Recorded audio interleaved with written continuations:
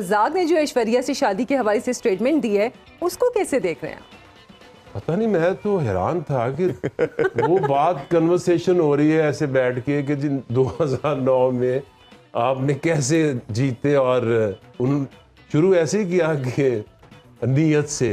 हाँ जी। कि नीयत अच्छी थी आ, कप्तान की मुझे कॉन्फिडेंस दिया। और अचानक ये पता नहीं ऐश्वर्या राय बेचारी कहाँ से आ गई और किधर से किधर कड़ी मिल गई। आई थिंक बहुत बुरी बात है। अपोलोजाइज तो वैसे अभी कुछ देर पहले उन्होंने वीडियो मैसेज के थ्रू हाँ हम भी हम भी करते हैं उनके बिहार पे क्योंकि ये बहुत बुरी बात है। ऐसे ऐसी चीज़ आपको कोई ताल्लुक नहीं है कोई कोई रेलिवेंस नहीं है। आई डोंट नो कि कहाँ से किधर किधर चले गए। सो हम आई थिंक इसके ऊपर एक्सट्रीमली सॉरी हाँ, मतलब नहीं नहीं बियॉन्ड। आप किसी भी तरह एथिक्स को लाइन की एक ड्रॉ है उसको आप क्रॉस नहीं कर सकते। आप किसी भी सेक्ट से हैं किसी भी रिलीजन से हैं आपको ज़रूरत प्लेयर है? एम्बेसडर हैं आप किस तरह ऐसी बात करके तो किसी को इसकी रेलिवेंस क्या बनती? मतलब उनके दिल में ख्याल आया होगा इसके दिल में ख्याल है तो दिल में भाई रखो ना। रमीज भाई आप कुछ ऐड करना चाहेंगे इस हवाले से? जो इन्होंने स्टेटमेंट दी बहुत वेयर्ड किस्म की। देखिए पहले तो हमें अपोलोजाइज करने की जिसने ये स्टेटमेंट दी है उसको पहले तो अपोलॉजी देना। ये दूसरा ये सेक्सिस्ट रिमार्क्स अब्दुल ये जो है अब्दुल रजाक ये बहुत अरसे से दे रहे हैं। ये निदा डार के मुतालिक भी उन्होंने एक स्टेटमेंट दी थी और वो भी जो है वो सोशल मीडिया पे हेडलाइंस बनाती रही है। ये नहायत ही स्टूपिड किस्म की ये स्टेटमेंट है। और ये आपका कैरेक्टर झलकता है रिगार्डिंग औरत को आप किस तरह से परसीव और किस तरह से देखते हैं। हम्म, और ये एक मतलब हमारी मुझे नहीं समझ आती है कि ये क्या अपब्रिंगिंग है किस तरह की अपब्रिंगिंग है। आजकल के जमाने में आपका इतना ज़्यादा इस तरह की टनल विजन है और इस तरह की आपके व्यूज़ हैं रिगार्डिंग वुमेन मैं तो हैरान होता हूँ कि इनको तो हटा के और इनके ऊपर तो बकायदा तौर के ऊपर एक मतलब इशू करना चाहिए ए, एक नोटिस किस्म का कि ये पहली दफ़ा तो चले आप गलती से कर सकते हैं आप बार बार इस तरह से बयान नहीं दे सकते एक रिस्पॉन्सिबल प्लेटफॉर्म के ऊपर। बिल्कुल ऐसे ही। और ये इसलिए कि वो आपने ठीक कहा ये एम्बेसडर रोल भी होता है आपका एक एक आपको लफ्ज जो है वो तोल के बोलने की ज़रूरत है। और खाम खाम में सारी क्रिकेट फ्रेटर्निटी को ये नीचा कर देते हैं बिकॉज़ लोग ये एज्यूम करते हैं कि ये सारे ऐसे ही होंगे। बिल्कुल ऐसे ही है। और पूरे। पाकिस्तानी सबको रखा हम्म, जाता है। ये, ये मतलब मेरा ये ये नहायत ही एक किस्म से इससे बड़ी कोई हिमाकत स्टूपिडिटी मैंने नहीं देखी है। और ये अक्सर ऐसी स्टूपिडिटी करते हैं ये। बिल्कुल ऐसे ही है। मैं कहूँगा ये सब सीखे हुए मैं सीख गया इनसे। तो घर से ड्रामेबाजी अदाकारी। मतलब इनको घर से भी तरबियत यही मिली है कि दूसरे की माँ बहन जो है दो नंबर है अपनी सब सही है मतलब किसी की भी बत्ती बज- बत्ती बुझा दो और अपनी बत्ती जला लो लाना था यार अगर तो एक बार। एक लाना था यार अब्दुल एक एक मिसाल शर्म आनी चाहिए आपको आपके जहन में यानी मीडिया या आप खुद उस मीडिया में बैठ के पैसे कैसे ले रहे हो? ये कैसा माइंडसेट है लोगों का कि मीडिया में काम करने वाली फ़िल्म में काम करने वाली लड़की गलत होती है? हाँ ये ये अपने जहनों अबे सालों घर वालों के साथ बैठ के अगर तूने ऐश्वर्या राय की कोई फ़िल्म ना देखी हो तो आजा हल्फ लेके बात कर। अरे बच्चे बगल में लिटाकर शाहरुख और सलमान को दिखा के बड़ा कर दिया बच्चों को इन्होंने और कहते हैं कि ऐश्वर्या जी हमें यार शर्म करो यार रजा। कम से कम बढ़ती उम्र में ये तो ख्याल बहुत बुरा लगा भाई मैं माफ़ी हाँ। चाहूँगा आपसे भी। हाँ। लेकिन बात यह है कि आपकी क्रिकेट की बात होती ना कोई मसला नहीं है। आपकी राय है निकल गई। बुरे क्रिकेटर नहीं थे लेकिन उतनी बड़ी तोप चीज़ नहीं थे आप। जितने बड़ा आप खुद को बनाते हैं मुझे तो उंगलियों पे याद है मैं बता दूँगा आपने कहा अच्छा किया है। आप जो वर्ल्ड कप के बाद कार्ल्टन एंड यूनाइटेड सीरीज़ खेलने गए ना वहाँ तक आपका पेस तेज जय हिंद स्वागत है आपका हमारे चैनल पर एक और लेटेस्ट वीडियो में। दोस्तों पाकिस्तान की टीम वर्ल्ड कप के खेलने के लिए जब भारत आई थी तो देखा होगा किस तरह से पीसीबी चेयरमैन ने कहा था कि हमारे खिलाड़ियों के पैसे भी बढ़ा दिए गए हैं क्योंकि हमारे खिलाड़ी दुश्मन मुल्क में क्रिकेट खेलने जा रहे हैं। तो यह तो दुश्मन तो उन्होंने खुद ही कहा था और उसके बाद आपने देखा होगा किस तरह से भारतीय खिलाड़ियों के जवाब आया उनको। और आज वीरेंद्र सहवाग ने तो पाकिस्तान की जमकर धजिया उड़ा दी कि, हम दुश्मनी भी ब्याज समेत वापस लौटाते हैं। आपने देखा होगा किस तरह सहवाग ने पाकिस्तानी टीम के लिए ट्वीट किया था कि पाकिस्तान जिंदाबाद।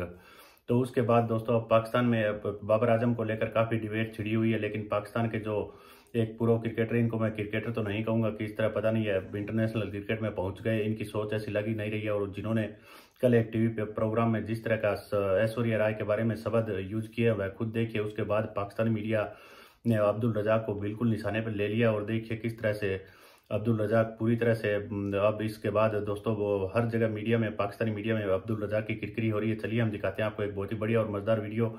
इससे पहले वीडियो को लाइक कीजिएगा, प्लीज़ आप हमारा चैनल सब्सक्राइब कर लीजिए। पाकिस्तान अच्छा क्यों नहीं कर रहा वर्ल्ड कप में? पाकिस्तान ने ये क्यों किया? तू तू कोई और एग्ज़ाम्पल इतनी ठंड क्लास इतनी ठंडी किस्म की एग्ज़ाम्पल मतलब क्या बात है यार? ऐश्वर्या रहे, बेटा, उनकी उनकी कंट्री में वो एक सेलिब्रिटी है रिस्पेक्ट करते हैं लोग। और हमारे पाकिस्तान में या एज अ मुस्लिम हमें क्या सिखाया जाता है? कि औरत की रिस्पेक्ट करो वुमेन्स को रिस्पेक्ट दो। तेरे तू यही है ना फिर, पाठी हो आप लोग। आप लोगों ने एजुकेशन हासिल नहीं की। बेटा एजुकेशन यही तो सिखाती है।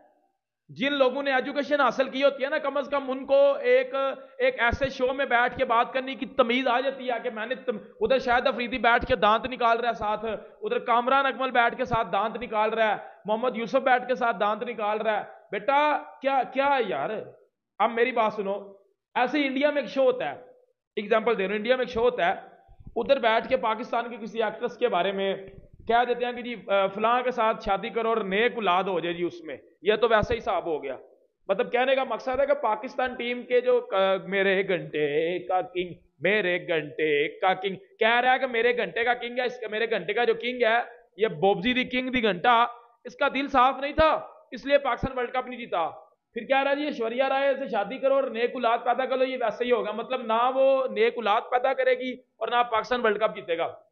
ये एग्ज़ाम्पल का मुझे मीनिंग बता दे, तूने किस लॉजिक के साथ इसको इसके साथ रिलेट किया और तुझे मैं मुसलमान बोलूँ?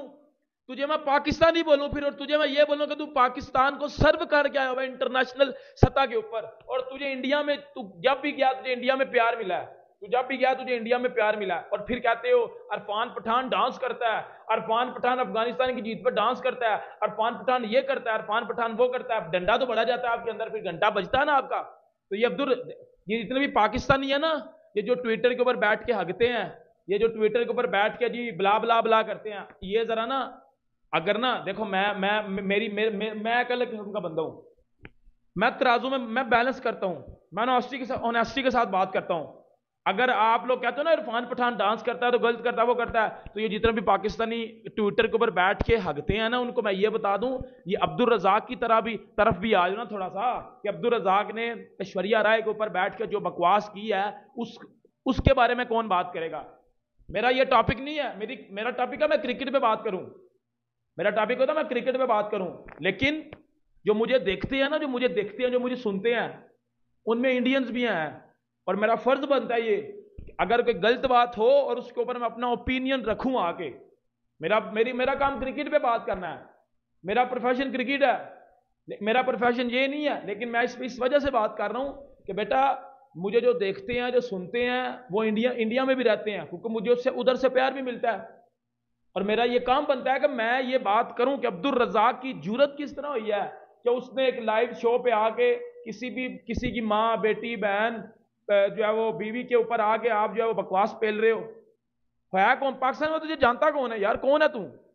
कितने को तू कौन, क्या, कौन है तू? विराट कोहली है तू? कौन है तू? सलमान खान है तू? कौन है? तू मेरा घंटा है। तू घंटे का किंग है बेटा। नहीं, किस लेवल पे तू कौन सी लेवल में पाकिस्तान में तू कोचिंग कर रहा है? मुझे बताना जरा। पाकिस्तान में कौन से लेवल पे तू कोचिंग कर रहा है? किस कंट्री ने तुझे एज अ कोच रखा हुआ है?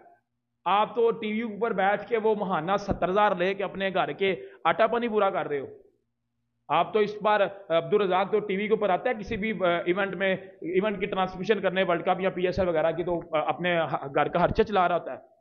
तो आप ऐश्वर्या राय पे बात करोगे, फिर इधर कुछ घंटे उठते हैं, विराट कोहली पे बात करना शुरू कर देते उधर मोहम्मद हफीज विराट कोहली जी सेल्फिश प्लेयर है, विराट कोहली अपने लिए खेलता है। आपकी औकात क्या है? कि दुनिया के नंबर वन प्लेयर के ऊपर, जो वर्ल्ड क्रिकेट की हिस्ट्री का बेस्ट प्लेयर है क्रिकेट की हिस्ट्री में इससे बेहतर प्लेयर आए नहीं है। तेरी औकात क्या है कि तू विराट कोहली के ऊपर? नहीं, हमारी पाकिस्तान की कब से औकात हो चुकी है कि हम विराट कोहली के ऊपर बैठ के बात करें।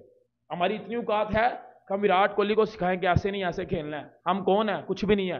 विराट कोहली की जितनी गेम है ना, बेटा, उस, वो गेम से बड़ी क्रिकेट से बड़ा है यार विराट कोहली। सिंपल मैं बात भी खत्म करता हूँ। क्रिकेट से वो बड़ी चीज़ है। वर्ल्ड क्रिकेट से विराट कोहली बड़ा है। और ये मैं नहीं कह रहा। ये जो खेलते हैं ना उसके साथ ग्राउंड में अपोजिट टीम के बंदे, ये वो भी कहते हैं कि विराट कोहली गेम से बड़ा है। ये जो तेरे घंटे का किंग है ना, वो बोब्जी किंग बॉब्जी घंटा, उससे भी पूछना जरा जाके कि विराट कोहली गेम से बड़ा या नहीं बड़ा। तो बेटा as a Pakistani as a Muslim, मैं आपको ये बोलूँगा कि रिस्पेक्ट कैसे कर सकता है? अब्दुल रजाक आपको मालूम है कि आए दिन वो कोई ना कोई गटिया और बकवास किस्म की बात करते रहते हैं, लेकिन इस बार उन्होंने जो है सारी हदें क्रॉस कर दी हैं। कल जो है वो एक इवेंट हो रहा था कराची में, जहाँ पर जो है वो 2009 के वर्ल्ड कप के सारे खिलाड़ी पाकिस्तान के मौजूद थे। शाहिद अफरीदी, शोएब मलक, यूनस खान, सईद अजमल, उमर गुल, अब्दुल रजाक। वहाँ पर जो है बहुत सारी बातें हो रही थी और बातों बातों में बाबर आज़म की कप्तानी की बातें चली। तो वहाँ पर सबने जो है वो अपनी अपनी राय दी। तो अब्दुल रजाक साहब ने वहाँ पर जो आप बात करते हुए ये बोला कि मिसाल उन्होंने ऐश्वर्या राय की दे दी, जो कि इंडिया की एक्ट्रेस है, आपको पता है, और जो वो अभिषेक बच्चन की वाइफ है वो, ठीक है? उनकी मिसाल दे दी और ये कहा कि अगर आप शादी ऐश्वर्या राय से करेंगे तो आप जो है वो फिर जो है नेक औलाद की और अच्छी औलाद की उम्मीद कैसे कर सकते हैं? यानी कि उस औरत के कैरेक्टर के ऊपर जो है इन्होंने बात की और फिर जो है वो इतनी बकवास किस्म की वहाँ पर हरकतें हुई हैं कि आप सोच नहीं सकते। अब्दुल रजाक ने जब ये बात की वीडियो में, फ़ौरन से मेरे सामने जब ये वीडियो आई, मैंने फ़ौरन से सुना, मेरे मुँह से यही निकला कि बदतमीज। ये अल्फाज मेरे मुँह से निकला। लेकिन वहाँ पर जो हमारे लेजेंड्स बैठे हुए थे, शाहिद अफरीदी, यूनस खान और उमर गुल, सारे लोग, उन्होंने अब्दुल रजाक के मुँह से ये बात सुन के तालियाँ बजाई। तालियाँ। यानी कि यार हद नहीं हो गई है। फिर आप लोग ये कहते हैं कि भाई साहब, हमें इंडिया में हेट मिलती है। शायद अफरीदी आके जो है, वो लाइव आके कहते हैं कि इंडिया में लोग मुझसे नफरत करते हैं और मेरे पाकिस्तानी दोस्त मेरा साथ नहीं देते। पाकिस्तान के मीडिया वाले मेरा साथ नहीं देते। आप लोग ऐसी गटिया हरकतें करेंगे, जो वो गिरी हुई हरकतें करेंगे तो क्या हम आपको बैठ के डिफेंड करेंगे? तो देखा दोस्तों, आपको किस तरह अब अब्दुल रजाक की भले ही चाहे पाकिस्तानी कुछ भी कहते हो या सिर्फ़ एक इंडियन व्यूवरशिप पाने का फॉर्मूला है, और अब्दुल रजाक भी इसमें, इसी होड़ में मचे हुए थे कि किसी भी तरह से इस वर्ल्ड कप के बीच में वह थोड़ी बहुत अपनी टीआरपी बढ़ा सके। लेकिन दोस्तों, इनकी सच्चाई और इनकी जहनीत असली यही है, जो कि हमेशा भारत के बारे में इसी तरह की सोच रखते हैं, और इसके जितनी, जिस तरह की इसकी सोच है, जिस तरह का इसके खोपड़े में दिमाग है, उसको लेकर लगता नहीं है कि यह किसी भी तरह इंटरनेशनल लेवल तक पहुँचने वाला खिलाड़ी था। फिर भी इनको टीवी प्रोग्राम में बिठाते हैं और उसके बाद दोस्तों इस तरह की बातें यह बिल्कुल भी शर्मनाक है। इनको दोस्तों भारत की तरफ़ से तो आए दिन जवाब मिलता है, लेकिन इनको किसी भी तरह की शर्म नहीं आती है। तो क्या करें? हम आपके लिए इसी तरह की एक से एक लेटेस्ट वीडियो लेकर आते रहेंगे। मिलते हैं अगले वीडियो में। तब तक जय हिंद।